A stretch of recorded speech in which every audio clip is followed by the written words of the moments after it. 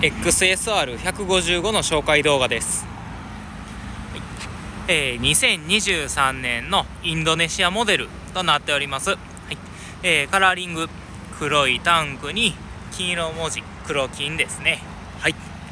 えー、23年からの新色となっております。はい、えー、色以外は特に前年度から変更はなくヘッドライト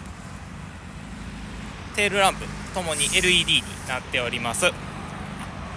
シート高なんですが、えー、810mm と比較的高め、はい、ですが、えー、車両重量が 134kg でパワーも19馬力ほどあるので初心者の方でも非常に、えー、扱いやすいかなと思います。はい、